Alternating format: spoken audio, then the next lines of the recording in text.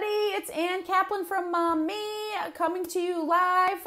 Finally, after a whole week where my videos were pre recorded, I'm going back to the live model now that I'm back from my vacation. I hope you guys saw yesterday the amazing interview that I did with Chelsea. She had me come in and talk about tips for getting ready for your summer, transitioning from school to summer break, and all that stuff posted it here in this group as well. So I really hope you guys check that out. Um, I'll put a link in the comments below so you can find it. Um, because the theme this week is summer survival how to survive your summer break. And especially today, I want to talk about beating the heat when you're pregnant. How many people, when they're pregnant, either feel or are told to feel like, oh my God, it is so hot. How are you even going to survive being pregnant this summer?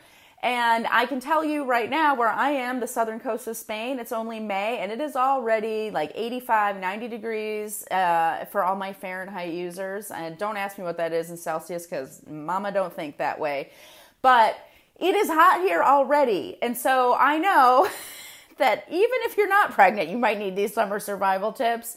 But especially if you are pregnant, you're probably thinking about, holy mackerel, I'm sweat when it's snowing. What am I going to do when it is super, super hot this summer? So I want to share with you guys some of my biggest tips for surviving that summer heat. And if you're watching here, if you've been pregnant in the summer, if you're pregnant right now, chime in, comment with your ideas below because I'd love to hear. You guys probably thought of stuff that I never even thought of before. So, my biggest tip for you, which is also my biggest tip for surviving the summer with kids, is just add water. Swimming, swimming, swimming, get wet. And the reason why, I know that you guys have heard me talk about this and when we talk about exercise too, but when you're pregnant, swimming is so good for you. Not only is it going to cool down your core body temperature, you're actually going to feel cooler even after you get out of the water but it is so good for you in every other way. It helps with optimal fetal positioning. It helps with circulation. It helps with hypertension. It helps with bloating and swelling. If your ankles are swelling up and you look like a crazy sausage lady in your sandals, go swimming. Go swimming. I don't know why it's so hard to get pregnant women to go swimming, but I know that once they do, they're almost always like, oh my God, why didn't I try this sooner? And one reason why it might be hard to get you to go swimming if you're pregnant is because you have to wear a bathing suit. You guys, Get that out of your brain. You can totally rock a bikini when you're wearing when you're pregnant. I totally do because I hate having fabric covering my giant big belly. I let my butt hang out. It doesn't matter. But even if you have to wear a sports bra and shorts and a t-shirt over it to get in that pool, it doesn't matter. You will thank me later no matter how crazy you think you look. Find yourself a bathing suit. And my biggest tip when it comes to pregnant bathing suits is skip the maternity store and just go to a nice bathing suit shop. And the reason why, I don't know why this is the case, but it is very true. Pregnant bathing suits are totally useless. Hello, when I'm pregnant, my boobs can be seen from space. They are so freaking huge and heavy, but yet all of the maternity bathing suits have no support in them at all. They don't have any wires, they don't have any shelves. Sometimes they might have a shelf or those stupid foam cup things that don't do anything. I need like scaffolding. I need like a work of architecture to hold my boobs where they belong. So, when my second pregnancy, I already decided, forget it. I'm not getting a bathing suit from from the maternity store this time around. I went to like Swim and Sport and I bought like an underwire bathing suit bikini with a little skirt bottom and I was golden and my boobs felt so much better. And because I had a little skirt bottom, I wasn't embarrassed about my giant baby making butt. And it was great. So get yourself a bathing suit, stop whining, and get in the pool. I'm telling you right now, pregnant mamas, you will thank me later. So that's tip number one and two, really bathing suit, swimming.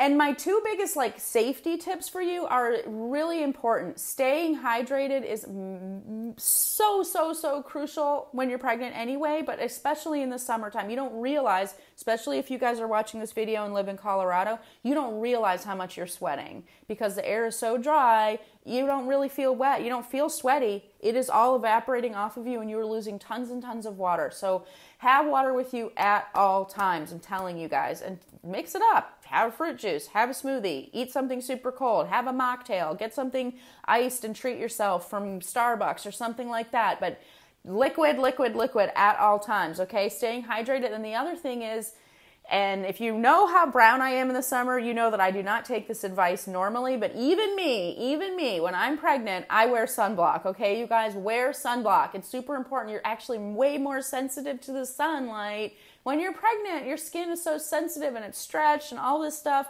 you definitely want to be wearing sunblock, even if it's for vanity's sake of the fact that you don't want to have like these crazy um, mask of pregnancy spots that are more likely to come up when you are not wearing sunblock and when you're in the sun. Oh, Colleen is chiming in with some bathing suit suggestions, you guys. J. Crew has a ton of flattering one pieces. Great tip. Thank you, Colleen. See, I haven't been pregnant in like three years, so who knows? Maybe pregnant bathing suit technology has come a long way, but I'm guessing not. Pregnant women get the get the shaft a lot, in my opinion.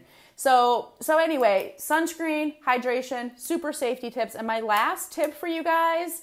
This is actually a really good thing about being pregnant in the summer, if you ask me. Take your pants off, okay? Putting pants on a pregnant woman is like trying to put pants on a ice cream cone, okay? It's the geometry just doesn't work. Pants are stupid, and especially pants with buttons and stuff like that. Take your pants off, you guys. The best thing to wear when you're pregnant is a giant, crazy maxi dress, moo dress, sundress, whatever. Basically, something that's like a tent over your body because it's comfortable, gives airflow, blah, blah, blah. Oh, look, I'm getting a new chime in here. Yes. Dresses, dresses, dresses. The best thing about being pregnant in the summertime, you don't have to wear pants or leggings or anything that makes you feel like you're being strangled, except it's around your waist. That's how I feel when I wear pants when I'm pregnant. Ditch the pants Get yourself some cute sundresses that you probably can actually wear after you're pregnant and enjoy the fact that you don't have to wear all these super uncomfortable clothing when you're pregnant. And I will tell you, there have been many, many, many times, especially because I've been pregnant after having kids. So I'm like toting around toddlers while I'm ginormously pregnant put on a sundress, take your kids somewhere that they can go splash around in water, and you sit your legs in the water and cool off and sit in the shade. It's really not that bad, I promise you guys. Little things that are good for everybody during the summer, whether you're pregnant or not. Cook outside, drink more smoothies, like eat your, drink your fruit, drink your veggies, like get that cold stuff going for you. Don't heat up your house using your, your stove, grill, like all of those things are gonna help it to you so that you're you're capable of weathering the storm. And then you get to have an awesome end of summer baby like me. My uh, birthday's August 29th. You get you have yourself a little organized Virgo and you won't go crazy in the process being pregnant all summer long. And the last thing, if all else fails, go to the mall, sit in the movie theater and let the air conditioning blow blow blow.